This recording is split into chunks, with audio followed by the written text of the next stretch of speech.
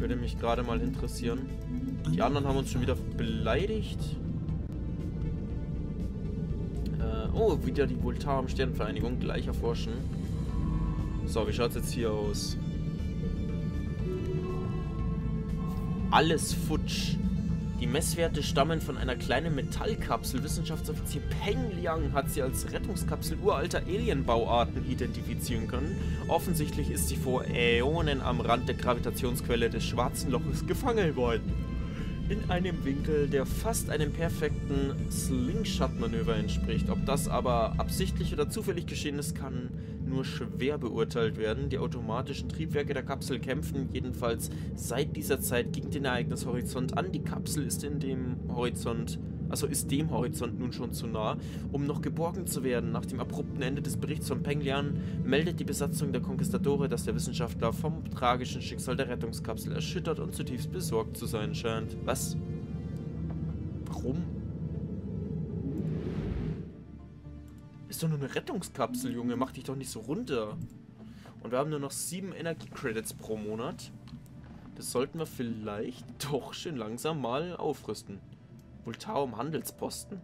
Mein Wort 2a war ein kleiner Voltarum Außenposten, wo sie mit mehreren benachbarten Zivilisationen Handel, Handel trieben. Oh Gott, es wird langsam wirklich spät. Irgendwann erscheint äh, der Handelsposten in, erscheint der Handelsposten in eine Art religiöse Einrichtung umgewandelt worden zu sein, wo die Voltarum versuchen, Alienhändler zu ihrer Philosophie zu konvertieren. Das ist ja sehr nett. Situation log updated.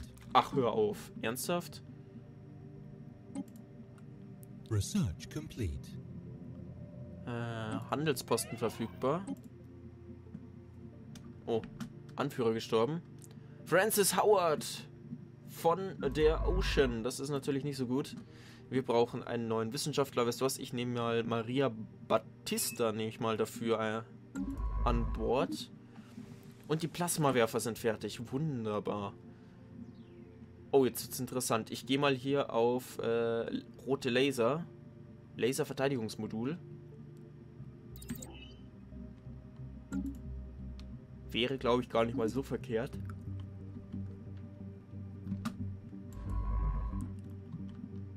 So, und dann würde ich sagen... Achso, hat Fähigkeit 4 oder höher. Dann brauchen wir das andere Forschungsschiff.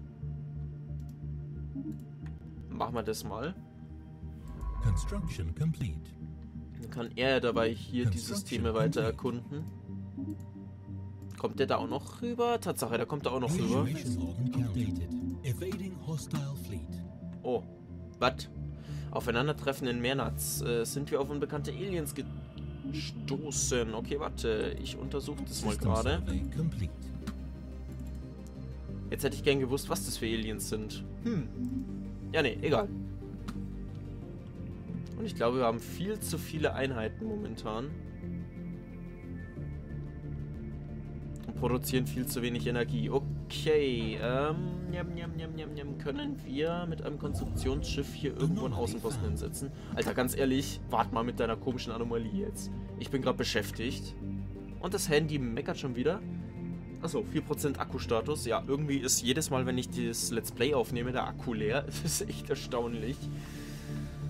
Ähm... Ja, wo setze ich jetzt hier am dümmsten...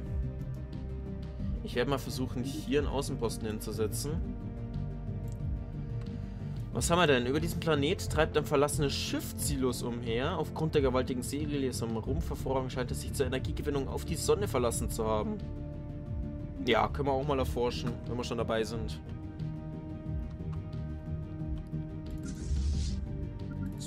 Project complete. So. Weltraumwolken. Die Untersuchung eines eigenartigen Haufens aus Trümmern und Weltraumstaub hat zu überraschenden Ergebnissen geführt. Es handelt sich um eine partikelförmige Wolke, in der eine mächtige Ladung unbekannten Ursprungs eingeschlossen ist. Diese Ladung sollte nicht in der Lage sein, einfache Reflexe zu zeigen, ganz zu schweigen von zielgerichteten Bewegungen. Und doch tut sie es, Entschuldigung. Aber ich werde langsam wirklich extrem müde. Vielleicht mache ich doch lieber eine längere Aufnahmepause. Die Videoübertragungen haben etwas unabstreitbar Ominöses. Vielleicht gibt es Dinge im Universum, um die wir besser einen Bogen machen sollten. Okay, lass mal erstmal in Ruhe die Typen. Hier haben wir zwei Strike Forces. Weißt du was, ich vereine die mal zu einer.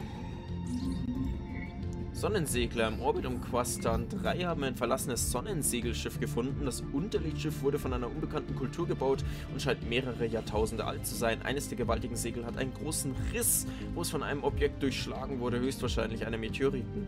Dieser Zusammenstoß scheint das Schiff unbrauchbar gemacht zu haben. Die Technologie ist zwar stark veraltet, aber hinsichtlich seiner Konstruktion wurden einige interessante Entscheidungen getroffen. Äh, ja, schön.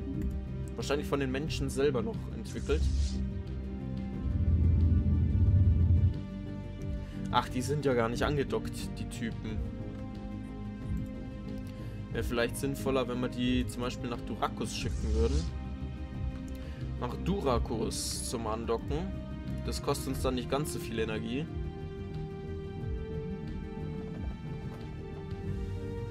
Die fünfte und dritte Strike Force, wo sitzen denn die? Achso, die sind da auf Durakos. Dann sollen die mal hier nach, äh, nach Herpes fliegen. Sollen die sich mit den Flotten von Herpes vereinigen? Die schauen eigentlich eh recht cool aus. Kann ich die... Warte mal. Äh, F4? Nein, F5? Nein, F6? Nein, F7? Nein, F8? Nee, F9? Nein, F10. Okay. Zerstörer. Hatte ich den nicht angepasst? Oh Gott. Nee, den habe ich überhaupt nicht angepasst. Warte mal. Energiesauger haben wir auch. Plasmawerfer. Die Atomraketen machen momentan einen Schaden von 30 bis 50. Reichweite 90. Schaden 1131. Oh, die machen mehr Schaden. Haben aber eine geringere Reichweite. Dann lasse ich das derweil mal so. Und hier könnte man nochmal einen Kernspaltungsreaktor hinsetzen und ansonsten jede Menge Panzerungen. Tornado. Dinger nenne ich einfach mal Hammerhead. Speichern, jawohl. Und dann kannst du die anderen nämlich löschen, die Tornados. Die brauchst du nicht. Ja, die sein löschen. Und dann kannst du eigentlich mal die ganzen Jungs hier... System Survey complete. Achso, Flotte verbessern geht gar nicht.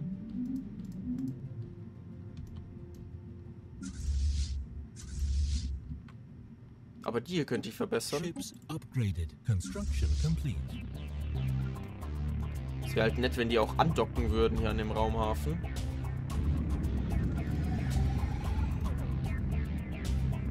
Jetzt haben sie angedockt, aber ich kann die Schiffe trotzdem nicht verbessern. Warum nicht? Verstehe ich nicht so ganz. Wieso lassen die sich nicht verbessern? Geht das nur bei Herpes oder wie? Ich schicke die mal zu Herpes zurück. Mal schauen, ob es funktioniert. So, was hätten wir denn da? Fusionsenergie. Oh ja, die werde ich auf jeden Fall jetzt erforschen. Das erhöht nämlich unser Speicherlimit für Energiecredits und wir haben eine neue Energiequelle zur Verfügung danach. Wäre momentan sehr vorteilhaft. So, und ich gehe gerade nochmal die Planeten allesamt durch. Hier können wir ein Backbone-Netzwerk aufrüsten.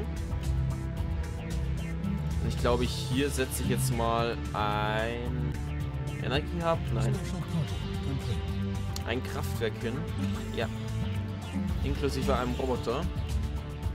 Archäologieprojekt abgeschlossen. Archäologen auf, äh, Archäologen auf Manboard 2a haben ein kurzes digitales Vultaum-Pamphlet geborgen. Anscheinend gaben die Missionare auf diesem Außenposten solche Pamphlete an ankommende Alienhändler weiter. Die Daten sind größtenteils beschädigt, aber es werden mehrfach die große Lüge und die Fesseln der virtuellen Realität erwähnt. Oh schön, die Fesseln der virtuellen Realität werden wir demnächst wahrscheinlich auch kennenlernen. Äh, ja, weil halt Virtualität momentan so richtig im Kommen ist bei uns. Dabei ist es gar nicht neu, ne? Das gab es ja irgendwie schon vor 30 Jahren vor 30 oder 40 Jahren gab es das bereits. War aber noch nicht so ausgereift wie heute und kam bei den Leuten nicht so gut an. Das heißt, es war seiner Zeit damals einfach voraus. So, haben wir wieder ein paar Gebäude zum Aufrüsten. Das ist schön. Okay.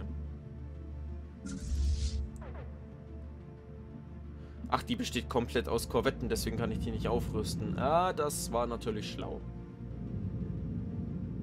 Ich könnte allerdings mal Research complete.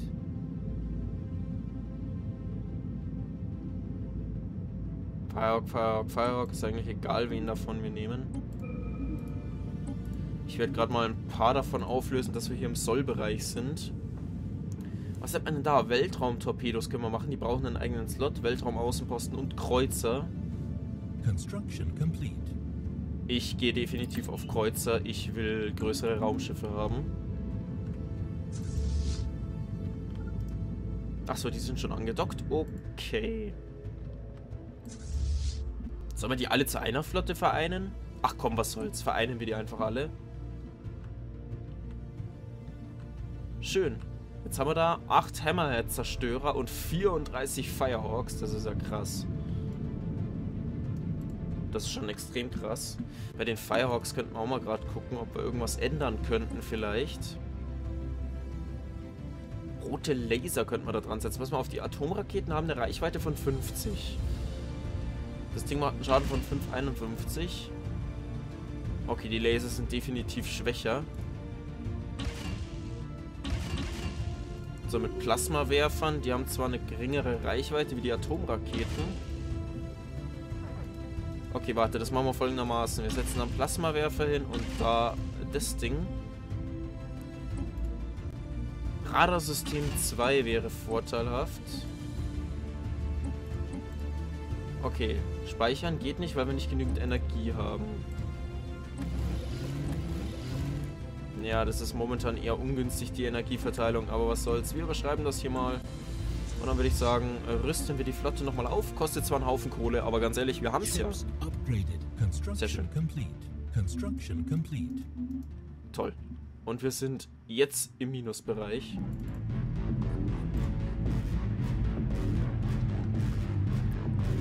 Ja, ich kann dir auch sagen, warum wir im Minusbereich sind. Wir sollten vielleicht mal schnell anfangen, hier Bergbaustationen hinzusetzen.